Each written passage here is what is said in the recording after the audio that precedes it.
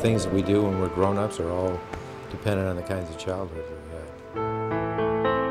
Born and raised in San Diego, Al Ballard fondly recalls his childhood years.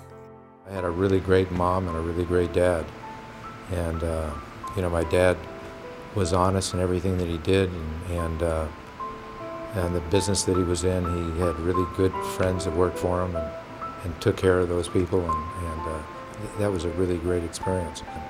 He just helped them and, and cared about them and, and uh, those people were close to him his whole life. With a towering reputation for excellence and fairness, Al quickly added some of the country's largest developments to his impressive repertoire, including the magnificent Ocean Plaza. You know, I had some different projects that I did, and, and uh, mostly subdivisions. Uh, so I had, you know, local Bahamian partners as partners, and then we had local, uh, the guys that did our sewer work were all local contractors, the guys that did our roads were all local contractors and then they had local contractors that would build the houses for them.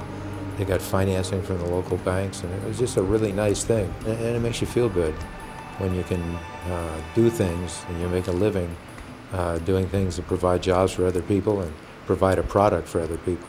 It all comes together, creating a win-win situation. Bahamian tradesmen and workers gainfully employed, united in the spirit of camaraderie. New skills are learned, old skills honed, and relationships cemented. Projects experience a faster turnaround, and brick by brick, bigger developments take their place on the nation's horizon. I think that Mr. Ballard has he's done a whole lot for the Bahamian community. I mean, in having subcontractors, having workers that are actually Bahamian, you know, trying to, to utilize our Bahamian people and, and our potential that we have, and just giving Bahamian people a chance to, you know, show their skills. And here on the job site, we appreciate Mr. Ballard for that. Mr. Ballard, he, uh, in the in the midst of uh, economic crisis, he took a risk and he took a chance to invest into the Bahamas and most sites around this time they normally will uh, close down, but through it all, he uh, he continued to uh,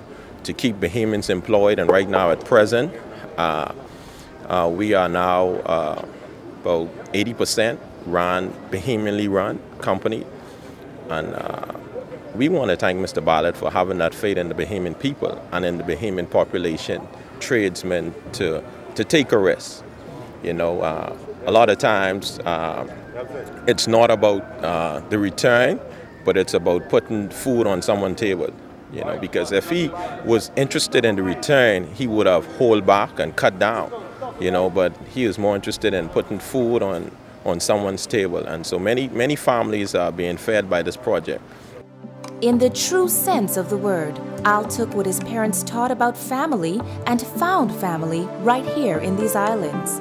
Today, he continues to push the bar and challenge others to grow. We need to learn excellence, and that's not something we're born with. It's something that we need to do the right thing and to have the right attitude and go out there and do that job better than anybody. If we're working for a dollar an hour, we should go out there and do that job like, like we're being paid $100 an hour. And if we do that, then pretty soon somebody's going to recognize that, hey, we're doing a $100 worth of work an hour and they're going to pay us a $100. If we say, well, I'm not getting paid enough and I'm just going to do a mediocre job, then we're going to get mediocre pay our whole life and we're going to get mediocre rewards. Through his personal mentorship program, Al shares business insights and motivates the youth to reach for the stars. Continuing in the tradition started by his own father, he considers it a privilege to make a deposit into their young lives. Uh, well, what I'll go from here, we're going to take $3 million from that project that we're doing over here, and we're going to do some things, uh, some incentive things for some of the teachers that excel and do really great things, and then we're going to do some mentor programs.